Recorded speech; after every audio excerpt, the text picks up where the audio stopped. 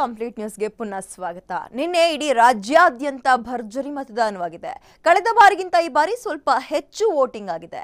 ಹೊಸಕೋಟೆ ಮಂದಿ ದಾಖಲೆ ಬರೆದ್ರೆ ನಮ್ಮ ರಾಜಧಾನಿಯ ಸುಶಿಕ್ಷಿತ ಮಂದಿ ಮತಕೇಂದ್ರದತ್ತ ಸುಳಿಲೇ ಇಲ್ಲ. ಆದ್ರಿಂದ ಬೆಂಗಳೂರು ಇಡೀ ರಾಜ್ಯದಲ್ಲೇ ಕಳಪೆ ಸಾಧನೆ ಮಾಡಿದೆ.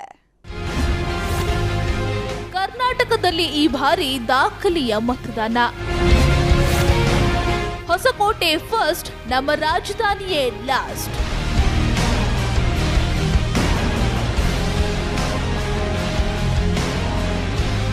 ರಾಜ್ಯದ ಆಡಳಿತ ಚುಕ್ಕಾಣಿಯನ್ನ ಮುಂದಿನ ಐದು ವರ್ಷ ಯಾರು ಹಿಡಿಯಬೇಕೆಂಬ ತೀರ್ಪು ನೀಡುವ ಜನತಂತ್ರ ಹಬ್ಬದಲ್ಲಿ ಶೇಕಡ ಎಪ್ಪತ್ತೆರಡು ಪಾಯಿಂಟ್ ಒಂದು ಮೂರರಷ್ಟು ಮತದಾರರು ಪಾಲ್ಗೊಂಡು ಸಂಭ್ರಮಿಸಿದ್ದಾರೆ. ಇನ್ನೂರ ಇಪ್ಪತ್ನಾಲ್ಕು ಕ್ಷೇತ್ರಗಳ ಪೈಕಿ ಇನ್ನೂರ ಇಪ್ಪತ್ತೆರಡು ಕ್ಷೇತ್ರಗಳ ಅಖಾಡದಲ್ಲಿರುವ ಎರಡು ಸಾವಿರದ ಆರುನೂರ ಇಪ್ಪತ್ತೆರಡು ಅಭ್ಯರ್ಥಿಗಳ ಭವಿಷ್ಯ ಮತಪೇಟಿಕೆಗಳಲ್ಲಿ ಶನಿವಾರ ಭದ್ರವಾಯಿತು. ಇದೇ ಹದಿನೈದರಂದು ಬೆಳಿಗ್ಗೆ ಎಂಟು ಗಂಟೆಯಿಂದ ಮತ ಎಣಿಕೆ ನಡೆಯಲಿದೆ. ಇದರ ಮಧ್ಯೆ ಹೊಸಕೋಟೆಯಲ್ಲಿ ಈ ಬಾರಿ ದಾಖಲೆಯ ಮತದಾನವಾಗಿದ್ದು, ಶೇಕಡ ತೊಂಬತ್ತರಷ್ಟು ಜನ ತಮ್ಮ ಹಕ್ಕು ಚಲಾಯಿಸಿದ್ದಾರೆ. ರಾಜ್ಯ ರಾಜಧಾನಿ ಬೆಂಗಳೂರು ಉತ್ತರ ಮತ್ತು ದಕ್ಷಿಣದಲ್ಲಿ ಅತಿ ಕಡಿಮೆ ಮತದಾನವಾಗಿದ್ದು, ಕೇವಲ ನಲವತ್ತೊಂಬತ್ತರಷ್ಟು ವೋಟಿಂಗ್ ಆಗಿದೆ. ಹೈಯೆಸ್ಟ್ ಹೊಸಕೋಟೆಯಲ್ಲಿ ಇದೆ eighty nine point nine seven percent.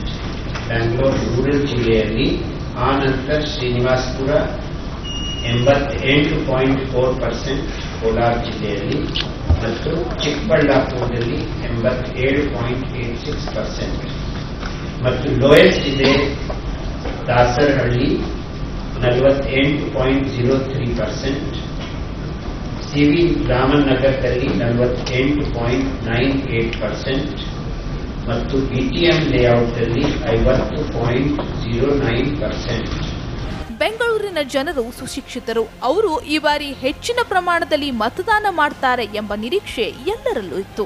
ಆದರೆ ಆ ನಿರೀಕ್ಷೆಗಳೆಲ್ಲ ಹುಸಿಯಾಗಿದೆ. ಸಿಲಿಕಾನ್ ಸಿಟಿ ಮಂದಿ ಕೇವಲ ನಲವತ್ತೊಂಬತ್ತರಷ್ಟು ಮತದಾನ ಮಾಡಿದ್ದು, ವೋಟಿಂಗ್ ಪರ್ಸೆಂಟೇಜ್ ಹೆಚ್ಚಿಸುವ ಎಲೆಕ್ಷನ್ ಕಮಿಷನ್ನ ಎಲ್ಲ ಪ್ರಯತ್ನ ಹುಸಿಯಾಗಿದೆ.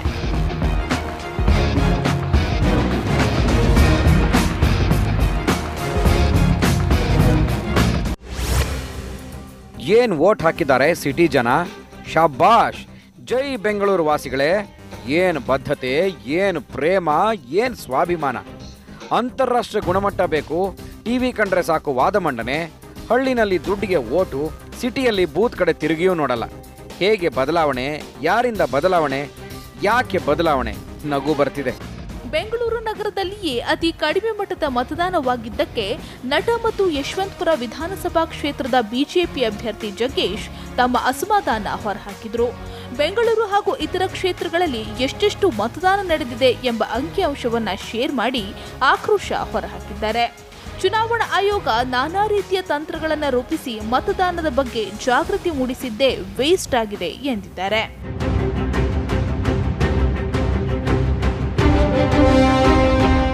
ಒಟ್ಟಾರೆ ರಾಜ್ಯದಲ್ಲಿ ಈ ಬಾರಿ ಉತ್ತಮ ಮತದಾನವಾಗಿದೆ. ಆದರೆ ರಾಜಧಾನಿಯಲ್ಲೇ ಅತಿ ಕಡಿಮೆ ಪ್ರಮಾಣದ ಮತದಾನವಾಗಿದ್ದು ಶೇಮ್ ಶೇಮ್ ಎನ್ನುವಂತಾಗಿದೆ. ಇದು ಯಾವ ಮಟ್ಟಿಗೆ ಪರಿಣಾಮ ಬೀರುತ್ತೆ ಅಂತ ಮೇ ಹದಿನೈದರಂದೇ ತಿಳಿಯಲಿದೆ. Rajashekhara Nayak, news desk TV five.